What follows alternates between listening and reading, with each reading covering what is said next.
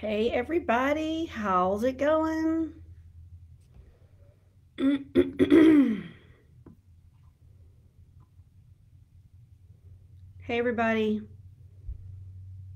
how's it going? Let me know if you're here. Hey, good morning, good morning. Somebody can pop in the chat that they're here. I do something a little different today. It's a very, very rainy, rainy Tuesday morning here in Atlanta, Georgia. and it just made me think that maybe we need to do something a little bit different today.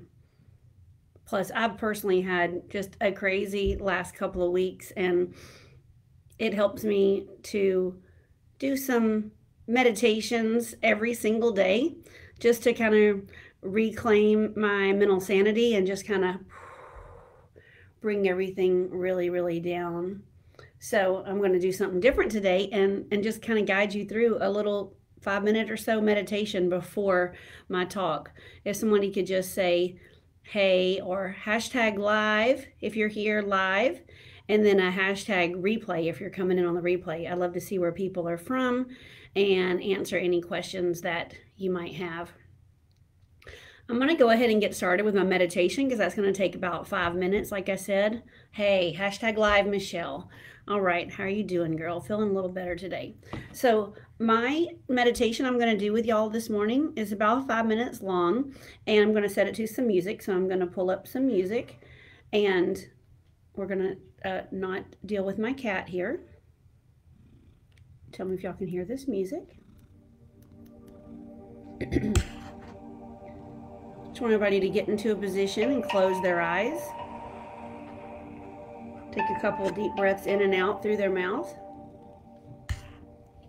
And just really feel comfortable in your seat. Coming into your body, feeling present. Feel your feet on the ground. Feel the seat underneath your legs. And just take a deep breath in through your nose and out through your mouth and calm your nervous system. All the different practices I'm going to be going through with y'all, they're going to each work in and of themselves. But as you do them together and we practice this more, we're going to get better and better at having these meditations and the calming of our nervous systems available to us at a moment's notice. So just observe whatever it is that you're feeling and give yourself time to feel that this morning. And on the one hand, having this objectivity, this consciousness beside you, and on the other hand, having availability coming towards you and grace coming towards you. Once availability and objective, objectivity open, they're available to you as you experience your emotions. When you go in and feel and explore these negatives, the negative feeling will start to reverse back to its basic building blocks. It'll turn back into nothing. It's just energy. And when you become less attached to it, it doesn't have the control over you as this consciousness, as our thoughts. They are just something that we do. They are not who we are. For those just coming in right now, we're doing a meditation. You can just close your eyes, listen to the music, and listen to the sound of my voice. I'm walking you through releasing emotions. So just observe the emotions that you're feeling so much that it becomes neutral and give it permission to move through your body. And again, the more you practice, the more efficient you will become until eventually you'll be able to dissolve a feeling within a few minutes. But first, you've got to practice and you've got to sit with your emotions. Don't stuff them down. Sit with them for however long they need and then go back to it. You may have to go back to it time and time again but these layers will dissolve. And the more they dissolve, the less and less you will be associated to the identity of these feelings, of the emotions, and of the thoughts. Know that your subconscious has been aware of all the times that you've had these feelings, and whatever comes up, let it come up. And when you're ready, you can let that go. Trusting the safeguards of yourself. Feel into that feeling. Feel into the feeling of what it would feel like to let it move through your body and breathe into it. Fill it up with this availability and willingness and consciousness and objectivity. Aware of being aware, breathing through it, just observing, just paying attention, paying attention and observing that emotion. Observe the observation and feel that release and let that dissolve more and more.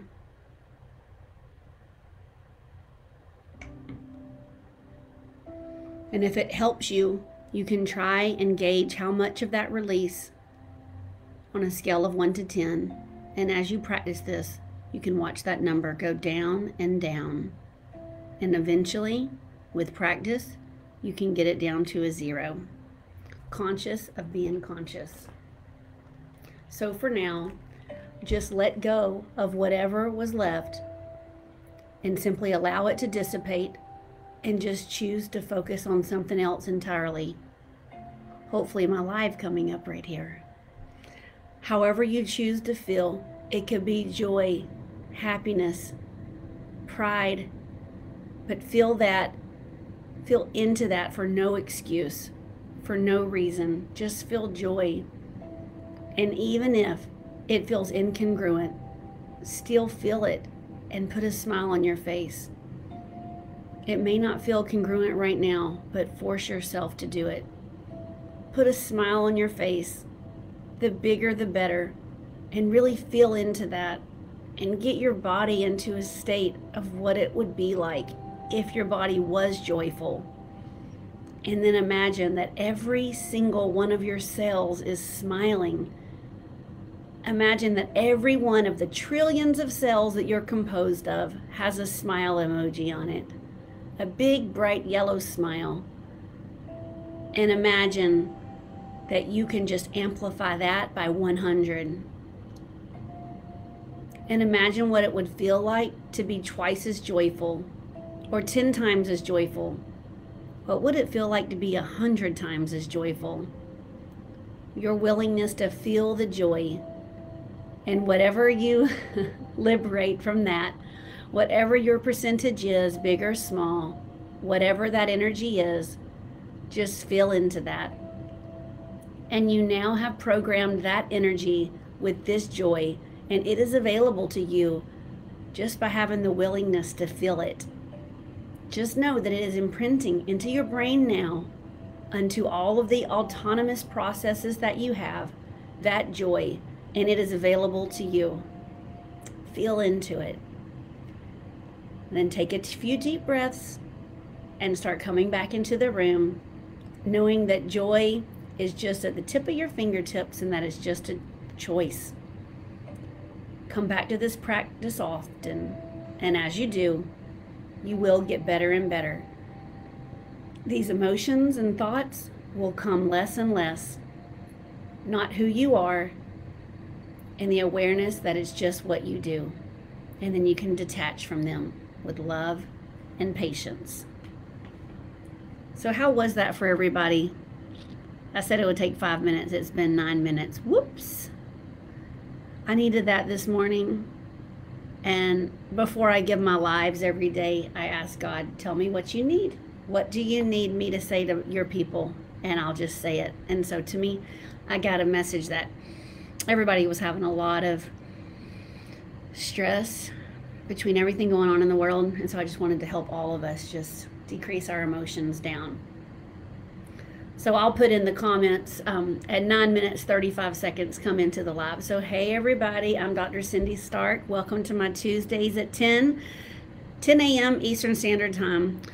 a series of lives that I'm doing, hopefully for here as long as I have a voice in my throat and breath in my life, breath and life in my body. And I'm here to talk to you guys today about triggers and how to release them and how they're ruining our lives.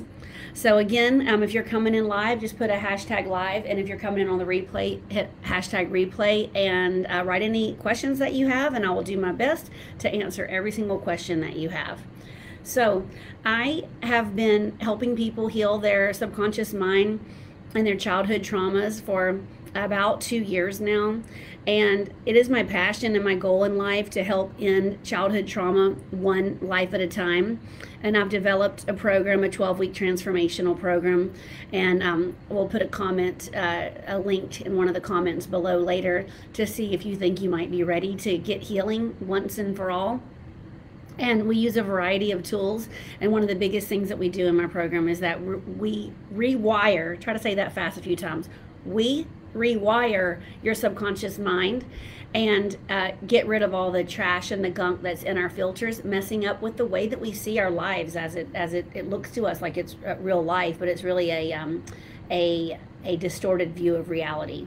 So trauma and triggers are the number one things that are screwing up your life and they make you um, undergo these behaviors that make you not uh, i would say not at your brightest shining moment you know sometimes we have behaviors that we do uh, over and over again and we don't know why we do those and a lot of them is because our subconscious mind is running on these triggers that we don't even know are there and so what I want you to remember, and again, you can go back to my uh, first live, um, they're in the announcement sections of this group. Um, hey, Abby. But it's on gestalts and their reticular activating system and how that is our filtration and filing system for all the memories and all the emotions that we have. And it, it actually uh, creates a lens through which we see our life through. And you can recreate the same trauma that you experience as a child over and over again unintentionally, just because the only thing that our um, eyes and our frontal lobe, our thinking brain actually sees is the distorted view of reality from way back here that got um, sealed in place probably um, 95% of it sealed in place by the time we were seven. So it's not your fault if you're doing things over and over again that you don't really uh, like and that is not your um, ideal life. You're you're operating from something that no one really takes the time to look at, and that's called your reticular activating system. And that's what I have um, gotten certified in a method to, to clear that so that we see life uh, for what it really is and we learn to trust our voice and we learn to trust ourselves and it's just a wonderful thing. So anyway i'm getting off off track here as i always do i'm sorry.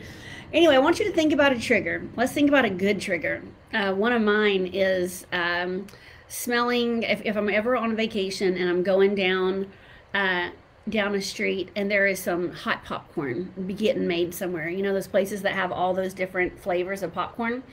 Well, that reminds me of this awesome time when I was a kid. We spent a lot of time um, making popcorn on the stove, you know, where you shook it by hand, you know, and you had you did a little three test popcorn pop popcorn kernels, and then you you uh, melted a stick of butter and lots of salt, and that just reminds me. The minute I smell popcorn, it makes me think of my mom and dad's love in my childhood home and watching movies with my friends or my cousins. I was so blessed. I had um, 10 cousins. I think we had 10 cousins about my same age. And so it's like I had, instead of two siblings, I had 12 siblings. And so it was just uh, the best childhood ever. And I just remember popcorn equals family love. And the way that our um, subconscious mind works is through our five senses. So anything that you see or taste or smell, and anything that you hear or feel, that's how you can, your subconscious mind uh, works with you to remind you of a trigger. And then when you couple that again with the memory, then an anchor is created. And uh, uh you immediately, it's like on autopilot. You smell the popcorn and you automatically remember childhood evenings watching a movie and um, and just my, the love of my mom and dad and the safety of that home. But then, of course, there's also negative triggers, and uh, I know some of us who are here, we have been through a lot of childhood um, trauma, and so sometimes if um, uh, you know, if certain things happen have happened to you right before your abuse occurred, um, then that will also uh, trigger you in a negative way, in the exact same way as a positive. So just imagine that most of the things that we experience, okay, is it's really about the past. It's not even about the present. And we, we all have these gestalts, which are bags of emotion, and we should have the ability to regulate those, right? Go up and down and regulate them. It's um sadness, anger, fear, and guilt. But what happens is that most of us uh, don't have the ability to regulate our emotions. Um, our parents surely didn't have the ability to regulate their emotions. And I think about it, our parents' parents, they they were in survival mode. I mean, my mom and dad. I'm thinking about my dad specifically his father and mother they lived they they they lived on a tobacco farm they literally had children so that they could have free farm hands that's all it was my dad didn't brush his teeth until he was 12 years old his clothes were made of burlap sacks that the rice and the beans were delivered to their farm in and so you think anybody was around there worrying about what they got triggered nope they got beat and you know um, lucky if they got probably two meals a day. Their house was freezing. I mean, they were absolutely fight or flight. Oh, nothing but survival in them. Completely dependent on the rain for their crops. And then, you know, they were in Appomattox, Virginia, and it was just a freezing cold the winters. And, and their house, you could literally go there. We've gone there before. You could see holes through, through the through the pieces of wood in their house. And and so they they can um those people uh, especially back then, and you know, we're only two generations away from them. We um we we, we were they taught their kids and, and then those kids are our parents and they taught us that there's not really much we can do about our emotions and when our gestalts get filled up with those negative emotions there's two things and only two things that can happen either one you get sick or number two you revert back to the age when your gestalt first got filled up. So I always think about and always demonstrate this with road rage. So imagine you're 40 years old and someone cuts you off in traffic and you go off the handle and you know you start cussing them out and you know some people my goodness even shoot people because of stuff like that. That's not an appropriate response to getting cut off in traffic. But when their anger um, gestalt first got filled up into rage, they may have been two to four years old. And so they're reverting back to um, uh, exhibit behaviors that a typical two to four year old would. So that's why it makes no sense, road rage. And so that, that is literally how our subconscious mind works. And um, again, when this, the gestalt for sadness fills up and spills over, it goes into depression. So if you're wondering why you're depressed all the time and you're on antidepressants, well, guess what? Antidepressants are, yeah, they'll fix some of the symptoms and maybe some of the mood swings that you have. But until you get that whole gestalt emptied down, you are literally um, fixing a problem that's that's 30 years like that you know the problem is 30 years in the making and all you're doing is fixing this one little tiny emotion and symptom down here 30 years later what did it did it do anything over here is that gestalt emptied at all no so you can take antidepressants and you will for the rest of your life. And I know a lot of people that are anti-doctor. Of course, I'm not anti-doctor because I am a doctor, but I, I am anti-pharma. But people, a lot of people that are anti-doctors are, they say, well, doctors don't want you to get healthy because they want to make money off you for the rest of their life. That's really not what we're trying to do. We only know how to do this thing. We don't know how to feel. We don't know how to um, empty the reticular activating system and all the gestalts. All we know how to do is fix this symptom 30 years down the line.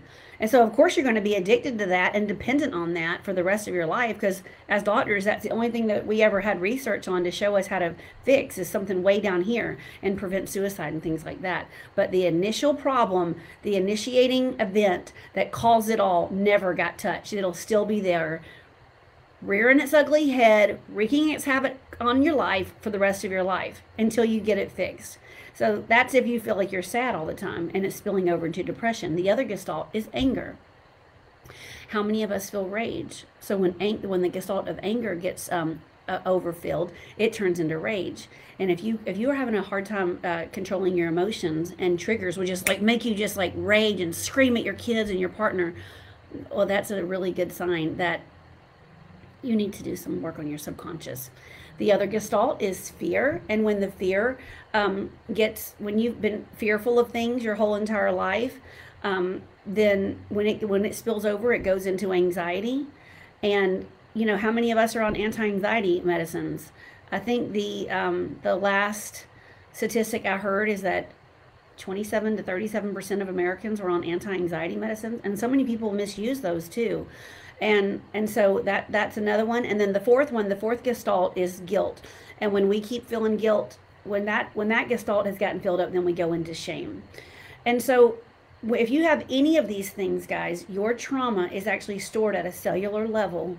It's stored everywhere over our body. I mean, you just look at your body and just imagine the effects of that trauma is on every single inch of your body. So you can expect dis-ease. You can expect sickness if you do not deal with your subconscious mind.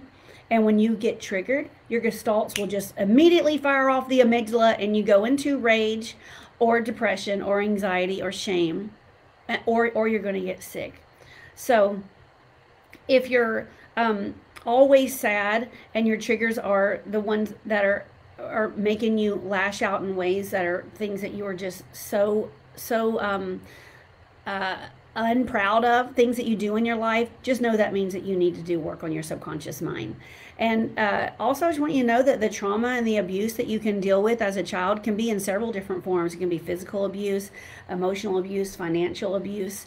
And if you're having a hard time accepting help because you think someone's trying to control you, that's another reason that you can you can know that a trigger is live and act and active in your life. So I do this work so that no one else has to go through the 37 years of what I've gone through.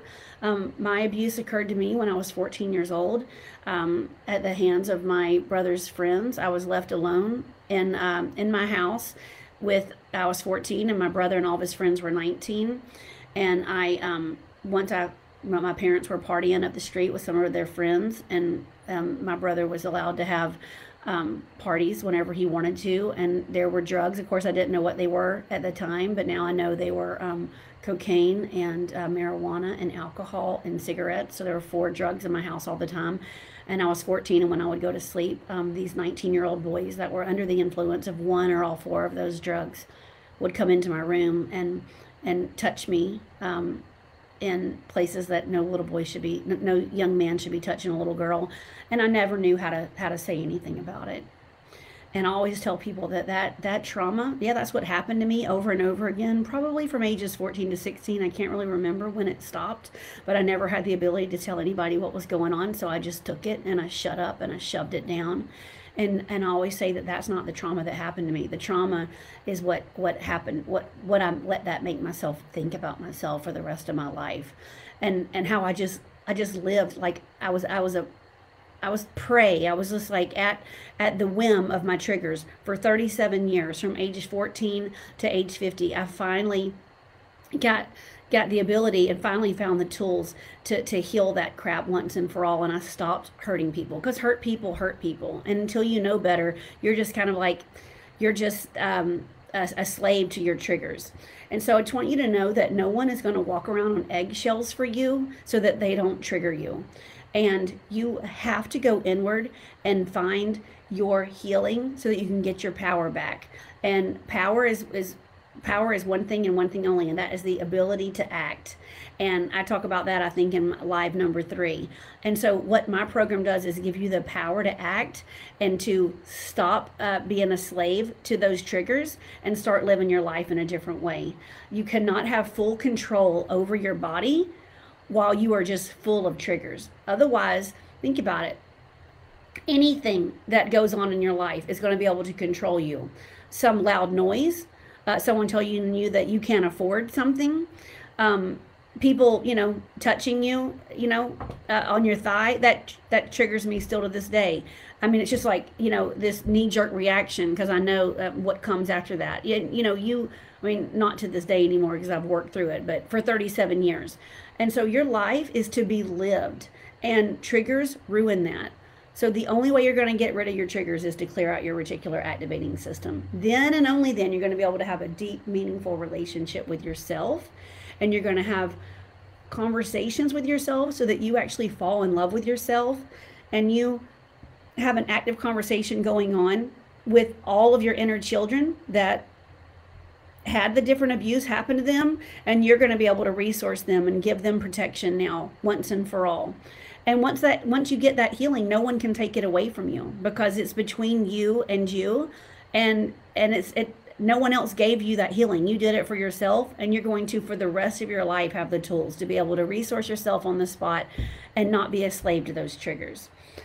When you um fix your subconscious mind, you actually stop living the distorted version of the truth that matches with your unique version of the screwed up and messed up parental and societal and um, and um, and educational programming. Okay, and then once you clear and heal what's been stored in here, you're now um, you're you're you're getting to run your own life. Your triggers aren't going to be running your life anymore, and you know, I just want you to know that you'll never have to be um, lashing out at people ever again. You are your own responsibility, and, and you don't have to do that anymore.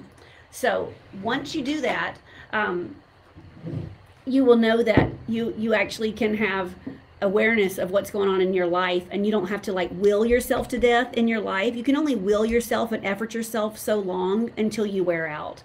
And you know god help you if you get sick or if you lose a job or lose a relationship, you know, um, your your will and, and your ability to effort it will will just completely get obliterated and you'll get sick.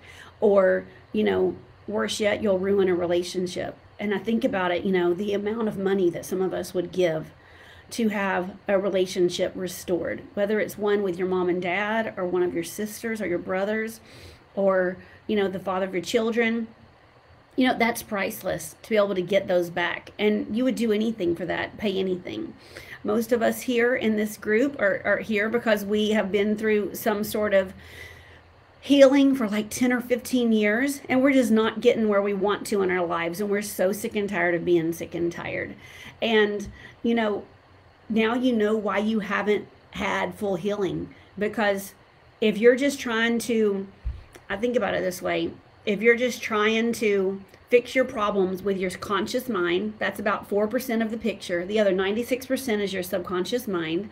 And if all you're trying to do is effort yourself away and and um, I know myself, I have um I have some very uh challenging relationships in my life and uh and I will I will try to effort myself. I have in, in the past I've tried to effort myself away. I'll watch a, a certain YouTube uh, video sometimes like 10 and 20 times trying to make things different in my life and it never gets better until you heal yourself.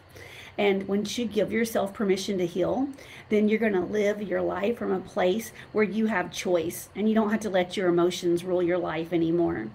And and if you have emotions coming up in your life right now, I want you to know that's great and wonderful. And you can go back to that meditation for the first nine minutes of this live today and try to release those emotions. So many of us say, don't, don't feel the emotions, just get busy.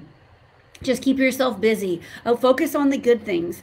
Yeah, there's a time to focus on the good things, but you also really need to just like sit in the crap. Sit in the crap of your life and deal with those emotions resource the inner children that were hurt and and then and only then will you be at a place where you yourself are resourced on such a deep level that that you're healthy whole and healed so that you give your best self forward and then you can have real authentic relationships again and it's just a wonderful thing and people start falling off of your life. Um, I know that's that that's happened to me, and it's happening to me, and it's really sad that certain people that have been such a big part of my life are falling off of my life now. But it's necessary.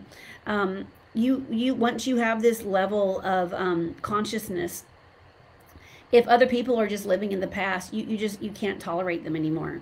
And and I, I feel like that we're all right here, right now, alive on planet Earth at this particular time in 2021 and meeting each other here because we're the chosen ones.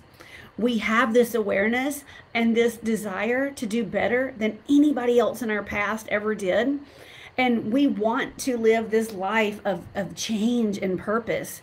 And the only way you're going to do it is diving into the muck, dealing with the crappy stuff, and then like like i said in my in my clearing and in my meditation this morning it turns into its component parts and it just like i don't know this is how i see it it just like you know, that sadness and, and that crying. You think the crying is never going to end. And you're just like crying your eyes out. One of my clients right now literally feels stuff coming out of the back of her head, just debilitating sadness, just pouring out of the back of her head.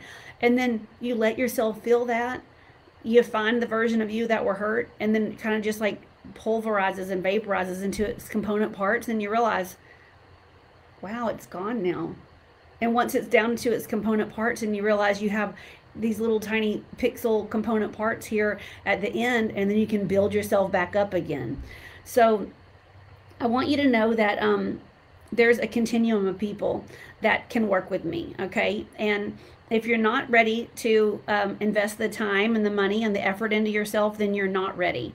But if you're ready to invest time in healing yourself, and I always say it's expensive, and the, the biggest expense is time. It's also some money, but people have spent four and five and six figures, I do believe, getting out of terrible relationships that have damaged them, uh, lost income because of uh, they were so screwed up that they couldn't give themselves, um, you know, for for weeks and weeks, sometimes months at a time. They're just laying in bed, unable to get out of the bed. And so your inner children are, are wanting you to get healing. The whole entire life is here. All this life around you, all the people, places, things, and events, the wonderful things are, are here for the taking. And everything you've been through, again, has, has brought you right here, right now for a reason. And if you don't get healing, then it's almost like all that trauma you went through was for nothing. So I want you to I, it's my it's my desire that you live your best life. I'm bringing the tools to you that it's taken me again 37 years to finally find the tools that finally brought true healing for me. And and and my clients, they're they are just um, I'll have some of them. I'm going to be over the next couple of weeks. Um, interviewing some of my graduates from my program and I just wanted them to tell you with their own words where they were before what they went through during my program and where they are now and you're going to see the kind of healing that that is possible. And and i just want you to know that you you you are it is not your fault if you feel like you are going to have to be anxious and depressed for the rest of your life if you feel like you're going to be sitting on a, a, a counselor's couch for the rest of your life once a week if you're going to be on medicines for the rest of your life if you're sick and tired of thinking that you're going to have to live by others rules because you don't even know how to trust yourself then just book a call with us and we'll see if you're ready. And if you're ready to commit the time for yourself, that the best version of your life possible, ever imaginable, is waiting for you on the other side. And it would be my honor and my team's honor to usher you through that healing journey. So, anyway, um, it's been my pleasure being here today talking to you about triggers. And Next week, I'm going to be talking about boundaries. And so I'll see you next Tuesday at 10 a.m. Central. Again, go to therealdrcindy.com for more information. And um, coming soon, again, I'll be I'll be interviewing some of my past clients. I love you guys, and I hope you have the best day. See you next Tuesday at 2. Take care.